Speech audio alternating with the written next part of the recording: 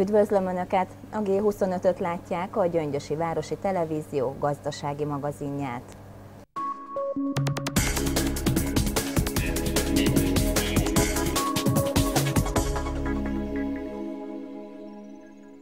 A turizmus dinamikus fejlődése egyre nagyobb mértékben járul hozzá a magyar gazdaság növelkedéséhez, mondta Varga Mihály Nemzetgazdasági Minisztérium a 39. utazás kiállításon Budapesten.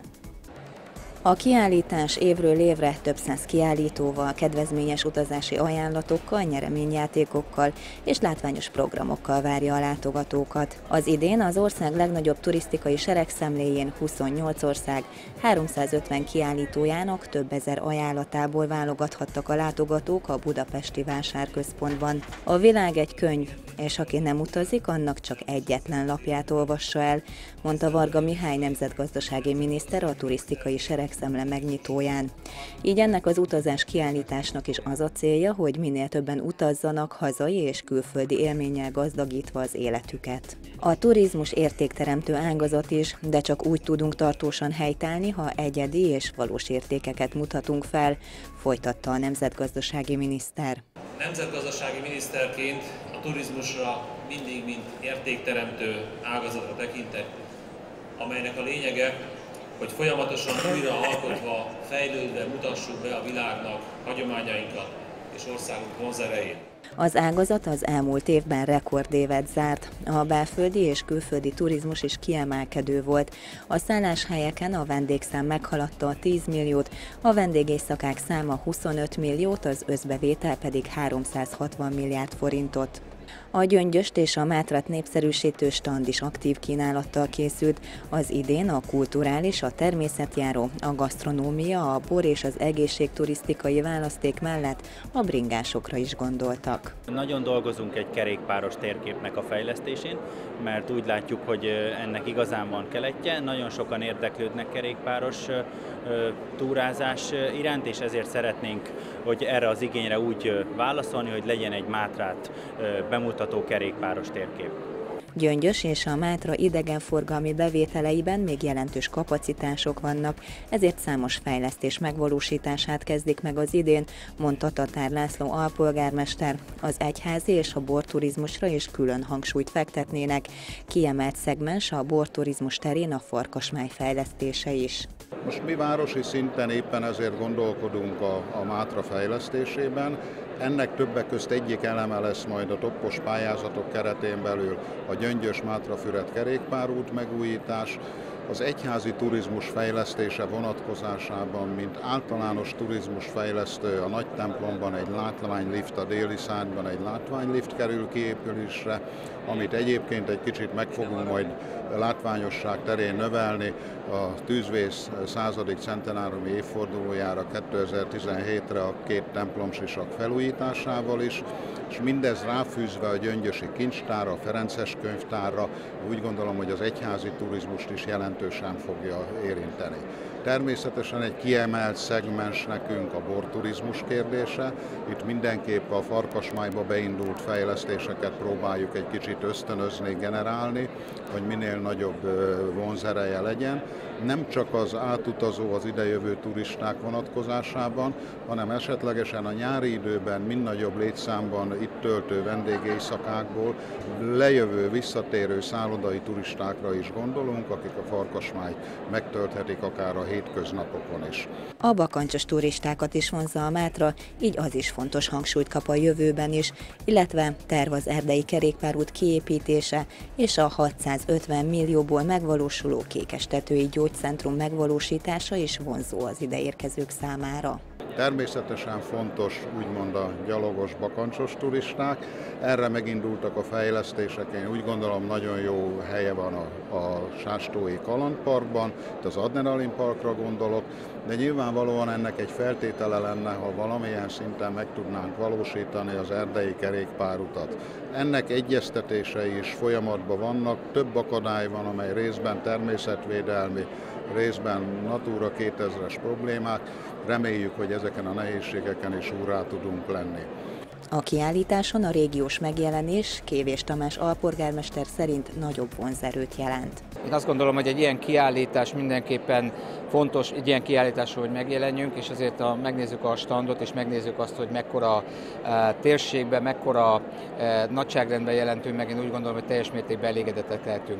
Hogy mennyire fontos ez a városnak, egy, a turisztika, maga a turisztika, én azt gondolom, hogy egy, kitörő, egy kitörési lehetőség, egy kitörési pontja Gyöngyösnek, és mint ahogy itt is megjelent, hála Istennek, hogy nem csak a város, és nem csak a Mátra, hanem egy térségbe tudunk gondolkodni, és egy térség jelenítette meg magát. Én azt gondolom, hogy ez így együtt sokkal nagyobb vonzó erő, mint hogyha mi csak saját magunk próbálkozunk a e, turisták, illetve az idegenforgalom területén tenni bármit is. Mivel 2016 a gasztroélmények éve, számos helyen kóstolóval várták a nagy közönséget, az utazás kiállítás szakmai díszvendége Kína, a belföldi Budapest, kulturális díszvendége pedig Brazília volt.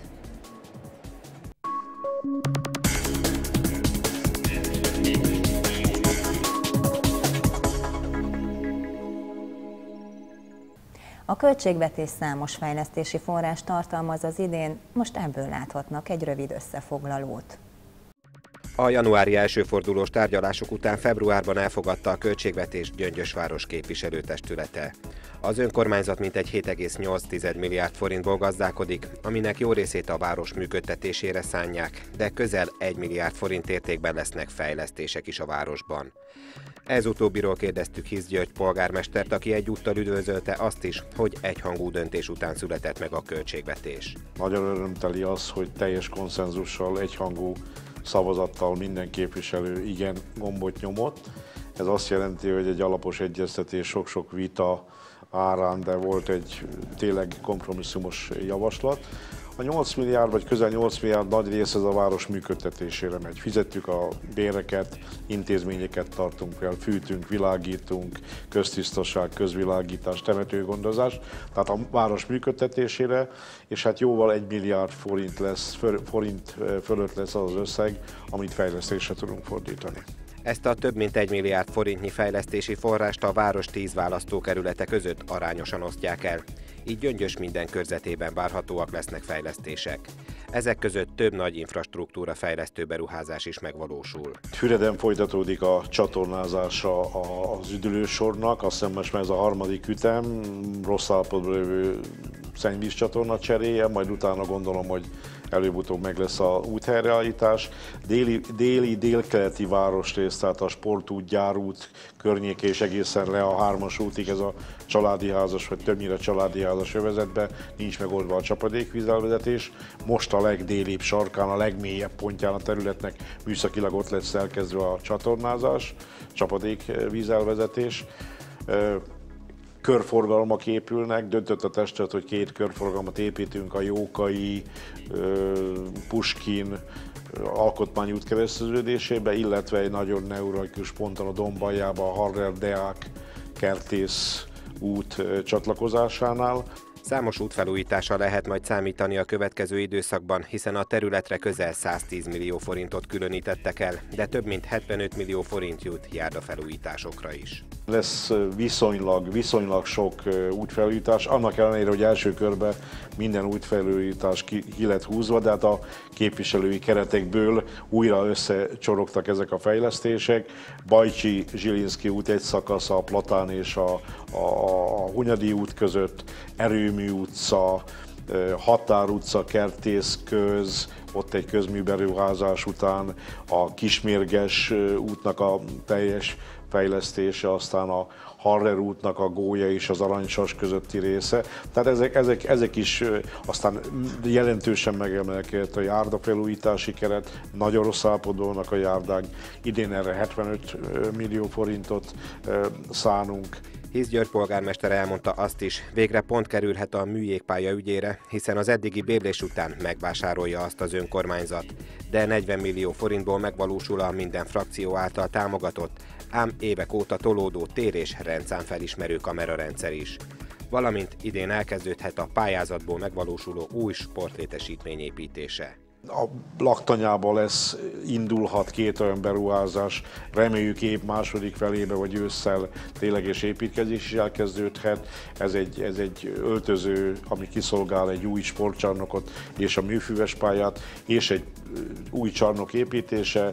Ide 81 millió forint önerőt adtunk, a többit a két egyesület, a, kézlabda, illetve a labdarúgó egyesület TAO úgynevezett társasági nyereségadó pályázatból tudta kiegészíteni. A tervek szerint idén elkezdődhet az új tűzoltó laktanya építése, amely 900 milliós pályázati forrásból valósulhat meg, és szintén külső támogatással folytatódhat az északi városrész városrehabilitációja is. A szociális városrehabilitáció keretén belül ha belefér, akkor a, a Menház út és a, a Versegi út és egy köznek a teljes úthelyreállítása, járdaépítés, ivóvízbekötések, aztán Szép utca, Malom utca, Víg utca, ez, ez ami a szociális városrehabilitáció, illetve nagyon remélem, hogy a Petőfi út 32, a Berényi Haller kastélynak a teljes felújítása is beleférhet ebbe a szociális városrehabilitációba, illetve szociális lakásoknak a felújítása, a területen levő szociális lakások, ez olyan 460-470 millió forint. Sikeres pályázat esetén Kékestetőn az országban egyedülálló klimatikus gyógyhelyet alakítanának ki. Itt most lenne egy, egy látogatóközpont, mindenféle ellátórendszerrel, vizes blokkokkal, konferenciahelyiséggel, ajándékbolt, helyi termékekkel, cukrászda, kis, kis kávézó, illetve egy élménypark, egy stresszoldó élménypark, nagyon sok érdekes elemmel, gyerekeknek játszótér, játékos elemek, ez mindaz az erdőbe természetes körülmények között. Tehát nagyon sok szép terv van, infrastruktúra fejlesztések, maga a, a, a csúcs környéke is normálisan néznek ki. Hisz György polgármester elmondta, hogy a város 2,7 milliárd forintos helyi adóbevétellel számol. A fejlesztések nagy részét ebből valósítja meg az önkormányzat.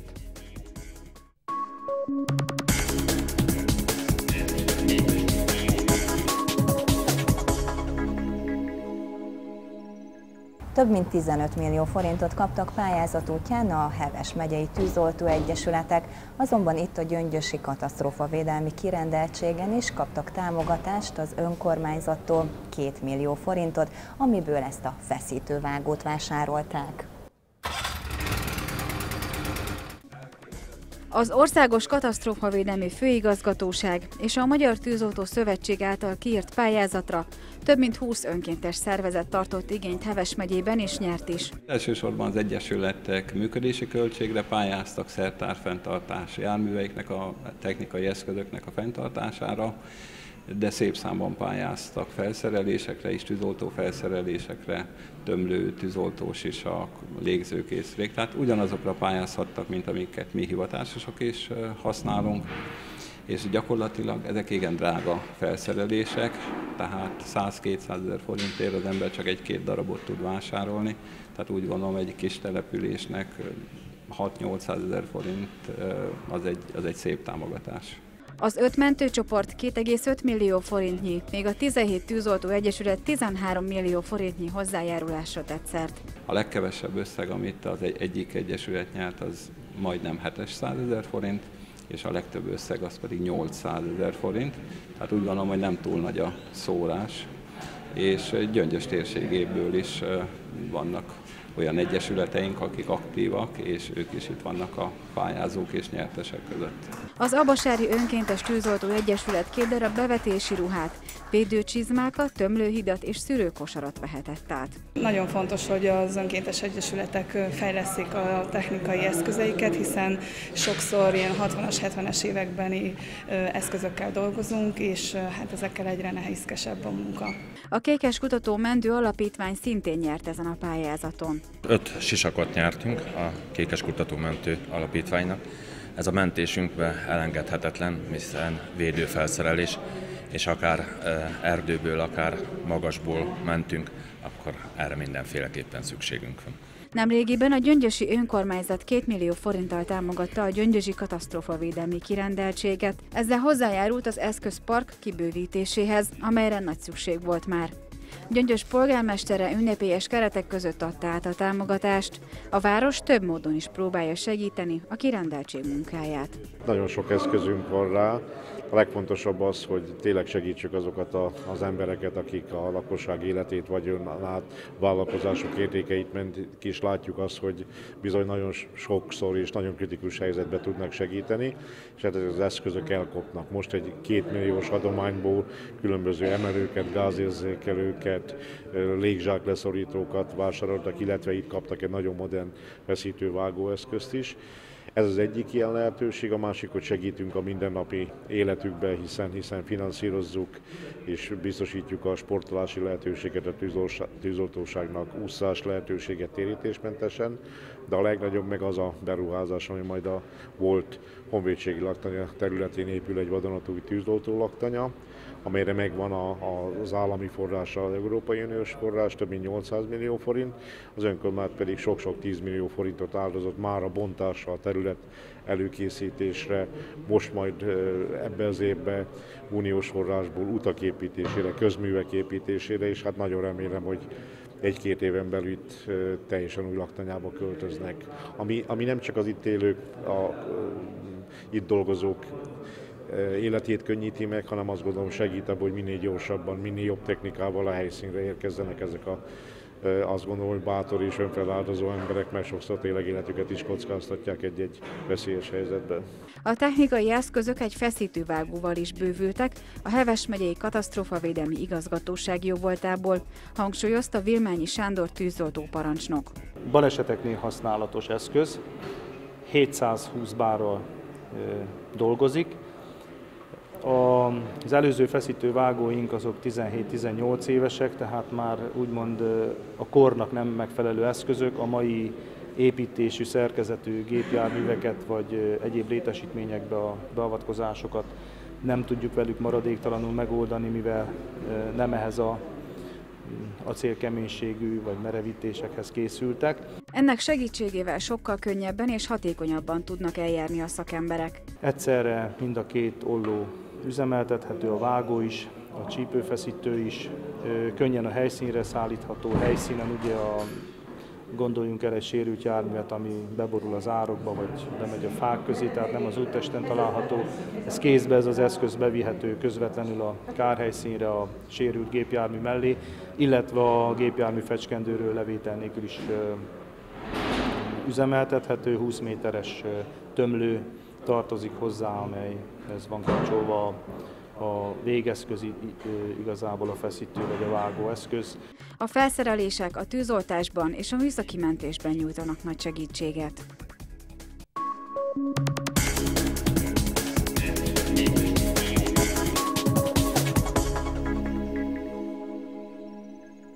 Megyei HR konferenciát szervezett a Heves megyei kereskedelmi és iparkamara Egerben.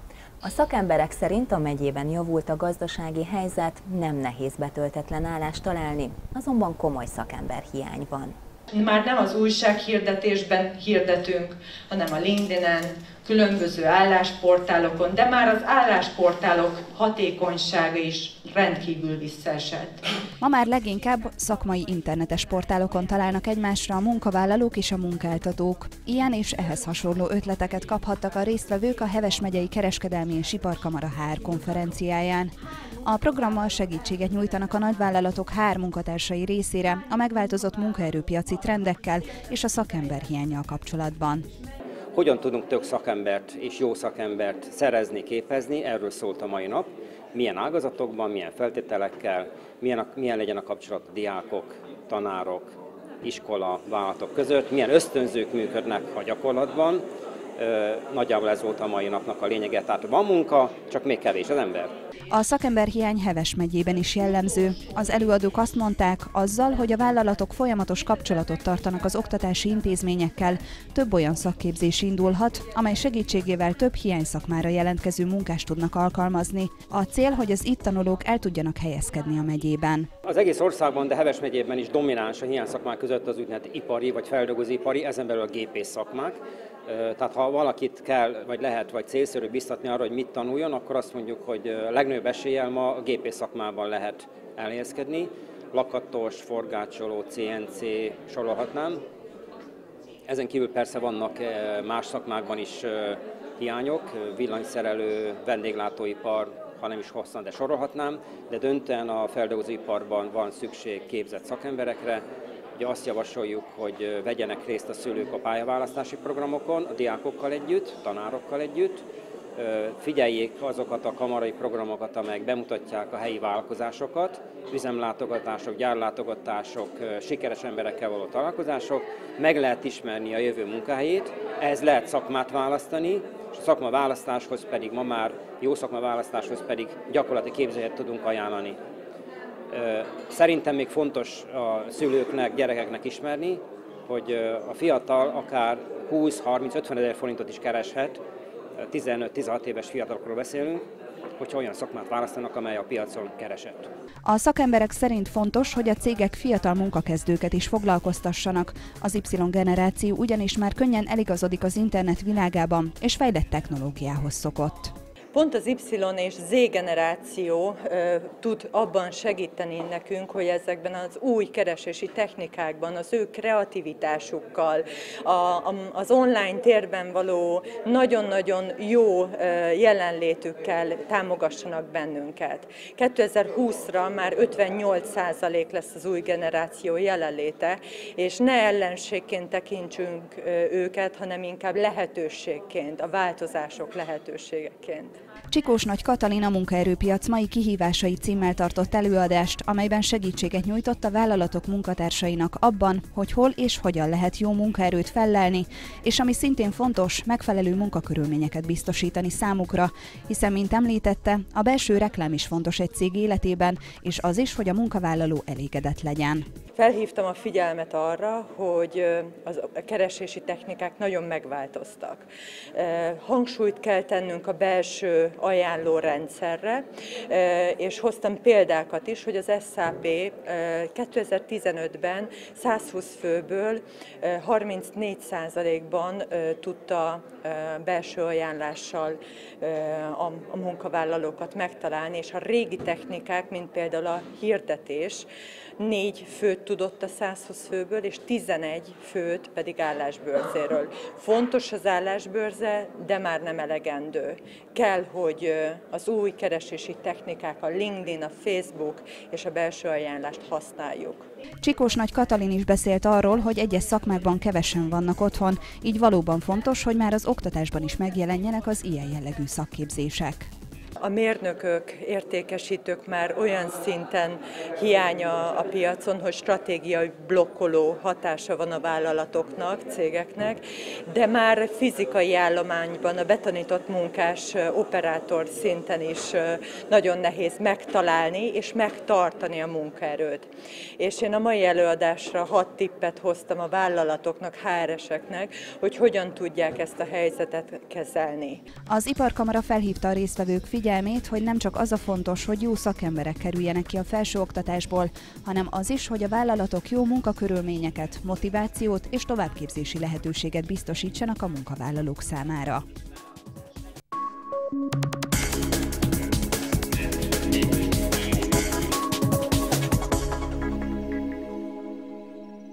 Ismét van időság klubja Gyöngyös Patán, a település 20 év kihagyás után indította újra ezt a szolgáltatást, az önerős beruházás összege 8 millió forint. 20 éves kihagyás után újra nyílt a nyugdíjasok klubja Gyöngyöspatán. Ismét az időseké ez az épület rész a polgármesteri hivatal sarkában. Évekig az iskolások ebédlője volt itt, de most visszakapta régi funkcióját az épület, mondta az ünnepélyes átadáson a település polgármestere. Én úgy gondolom, hogy egy önkormányzat feladatai között első helyeken szerepel a település időseiről való gondoskodás, az idősekkel való törődés, és mindenféleképpen szeretnénk, hogyha megelőznénk meg tudnánk előzni, vagy hozzá tudnánk járulni ahhoz, hogy az időskorra jellemző elmagányosodást megelőzzük ezzel a klubbal is.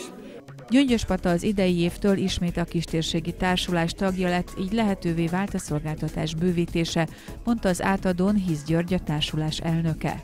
Ezzel a település jobban járt, és ebből a e, finanszírozásból tudja megoldani ezt az idős klubot is, hiszen a 3000 alatti településeknek nem kötelező forma a klub, de mivel kistérségen belül működik, ezért 150%-os finanszírozást kapnak, tehát ki tud jönni ebből a normatívából, és ez rendkívül fontos, hogy azok az idős emberekkel is egyre több minden településen az idős nyugdíjas korú ember tudjanak foglalkozni, jöjjönek el, szellemileg tartsák karba magukat, kiránduljanak, járjanak, ha kell, színházba, közösségi programokat szervezzenek, és ez üdvözlendő, hogy a települések egyre többen gondolkodnak így.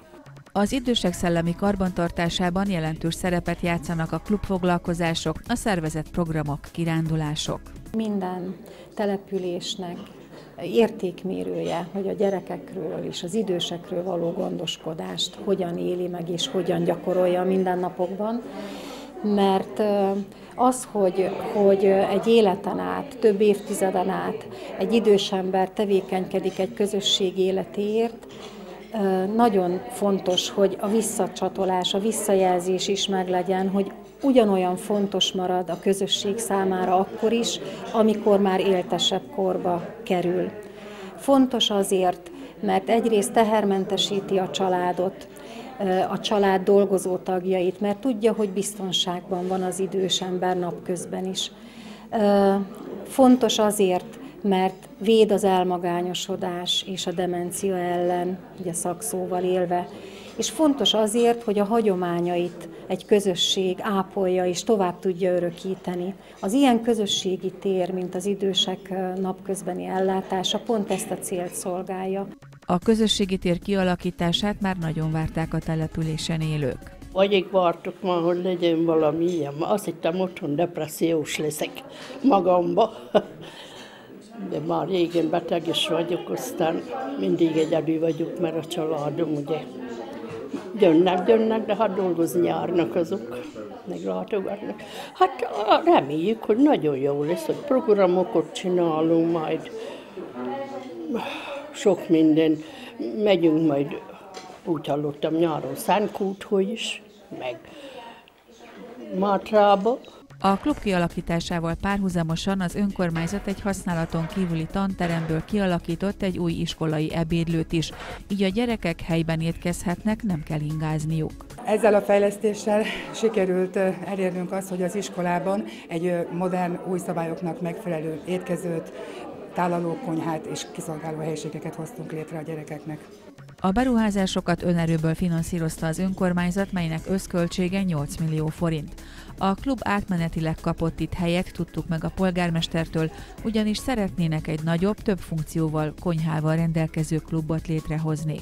Bízom benne, hogy ez egy átmeneti jelleggel van most itt a klub, ugyanis szeretnénk benyújtani pályázatot az idei évben, és egy ettől nagyobb helyre vinni, ami jelenleg most funkcióját vesztett épület, ott szeretnénk kialakítani a klubot.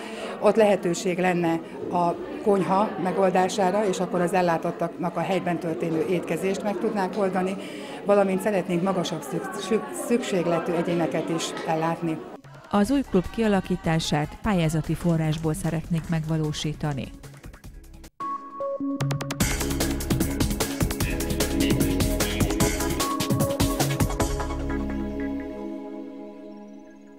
Önök a G25-öt látták, egy hónap múlva ismét jelentkezünk. Tartsanak akkor is velünk, viszontlátásra!